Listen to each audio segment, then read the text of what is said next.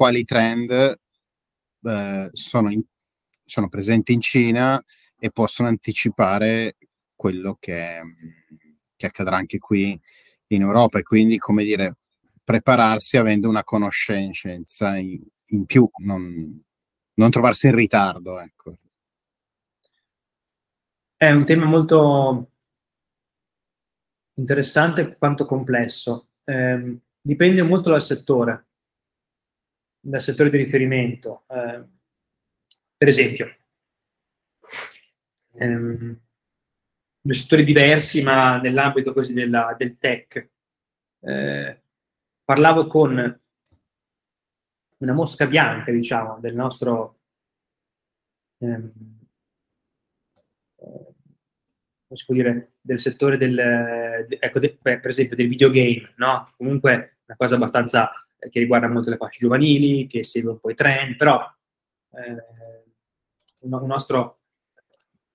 socio, in realtà parte del, del, del CVA, della fondazione eh,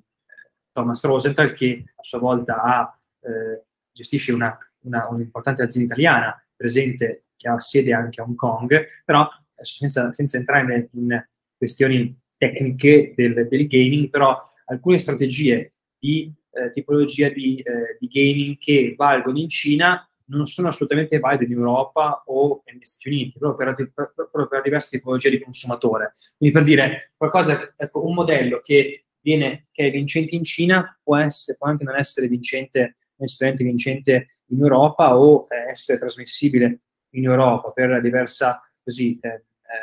abitudine del consumatore. Dall'altro lato, sempre nel mondo tech, eh, io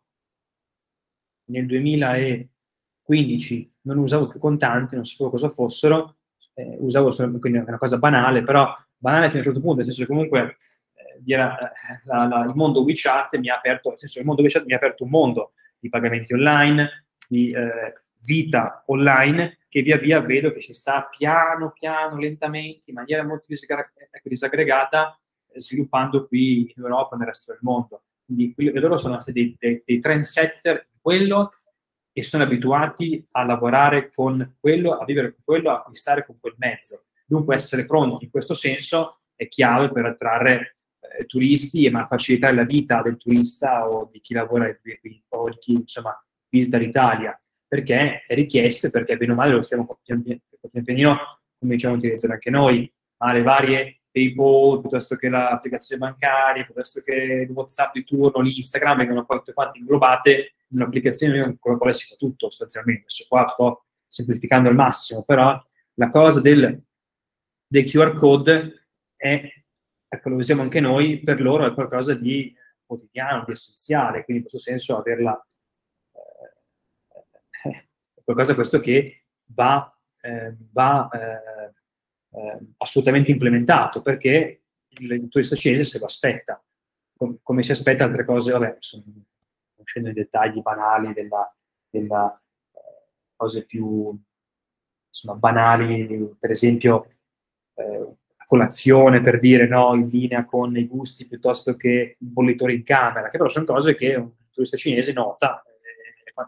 piacere se sono... Però per i trend, questo è un trend, quello della, del QR code o della digitalizzazione e se non siamo pronti in quel senso è chiaro che si perde una fetta di turismo, di guadagno. Queste sono cose che sicuramente avete già sentito